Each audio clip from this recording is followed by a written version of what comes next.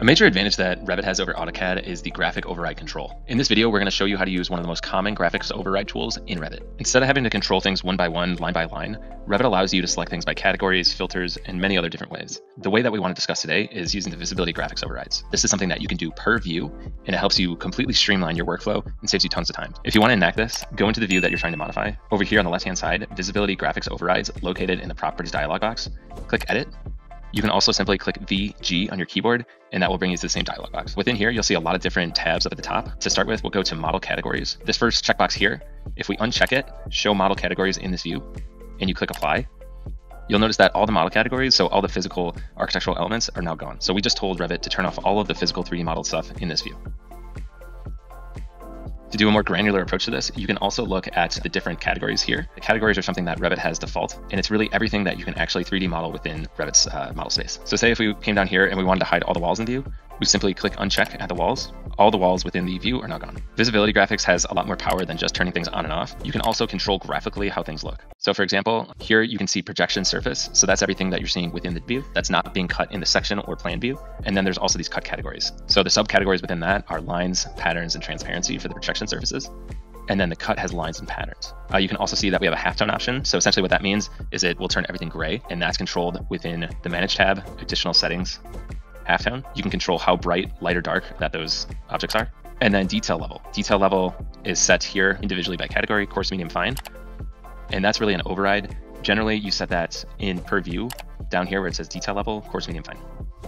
So now if we come back down, and let's say we wanted to show the line weight of this wall cut thicker, under lines, click override, weight, and then choose a number that's higher than the, what you wanted to see, click OK, and apply.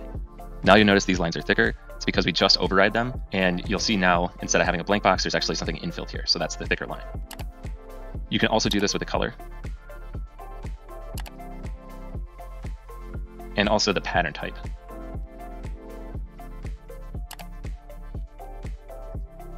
Now say you want to get rid of these, all you have to do is click clear overrides, click OK, and it will get reset back to the default graphic setting that it was at. These settings can be modified for almost every category within Revit. The only limitation is when you see this grayed out box here, that essentially means that you can't make an adjustment for that category and specifically which column that you're looking at. The visibility graphics override, it also has a search feature. So you can see here, it quickly just breaks down everything and gives you only the thing that you're searching for, which can be really helpful if you have a lot of subcategories or you just want to find something quickly. You'll also notice here, filter list. Right now we're showing every single category um, group within Revit, but you can really specify this to the, only the things that you are working on. So you can see it as architecture, structure, mechanical, electrical, piping, and infrastructure. The next tab at the top is annotation categories. It works very similar to the model categories. The only difference is it's we're looking at the annotations, so the 2D documentation elements instead of the 3D modeled elements. So if we uncheck this, show annotation categories in this view and click apply, you'll notice all the annotation elements are now hidden. Similarly, you can also search and filter the list. And one thing to note each one is a category, but if you click this plus, you'll see that there's subcategories underneath each, which is common amongst all these different tabs. Going to the next tab, we have analytical model categories. These work very similar to the two previous tabs, but for analytical model elements, there are no cut overrides, just the projection surface, halftone, and detail level. You can also change the visibility on or off. For imported categories, this is typical to see AutoCAD drawings, so your DWGs that you have imported or linked in. This is really great because you can actually control the layers within here. So you can see I imported this level three plan here. And then let's zoom in on this section here. Let's go back to our visibility graphics overrides, imported categories. So if we look here, those are the room tag layers. So if we uncheck that, it's gonna hide it, click apply. And you can also override the lines. So if you click here and then, for example, if we wanted to see this in black, click apply, and then now everything on that layer is shown in black, not in yellow. Similarly, you can change the pattern and the weight of an object within this, and then that'll be controlled per view. You also have the opportunity to, to modify patterns if that applies, and then also halftone. Moving on to the filters tab, we have a full video on how to use filters, but to give a brief summary, they work very similar to the model and annotation categories. It's just a way to get more granular. So you're not selecting the entire category, you're really selecting things based on certain filters that you're giving it. You can see here that you can turn things on and off.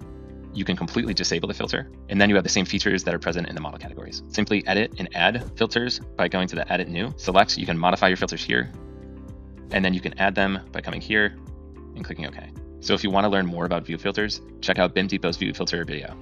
The next tab, Revit links. So this allows you to control models that are linked into your main model. Eye level visibility, so you can check and uncheck each one.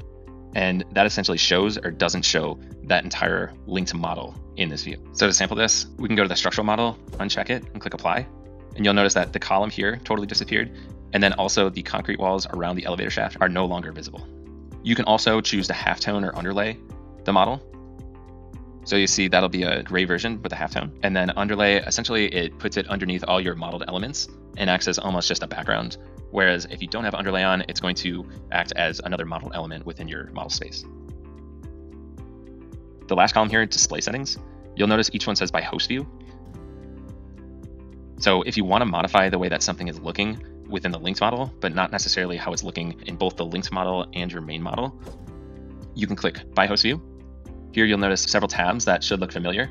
Model categories similar to the visibility graphics overrides, annotation categories, and so on. You'll notice all of this is grayed out right now. And the reason for that, if we go back to basics, you'll see by host view. Go ahead and click by linked view. This will adopt these settings from the linked view. And then if you click on custom, then you can completely customize this in whatever way that you want, and you have all of those controls just like you had with the visibility graphics overrides. And go back to model categories, you'll notice that it's still gray. At the top here, model categories, it's still by host view. So if we do the dropdown and click custom, then you'll be able to override everything as if it were just in the visibility graphics overrides. But remember, this is just going to affect the linked model. It's not going to affect anything else, just this linked model.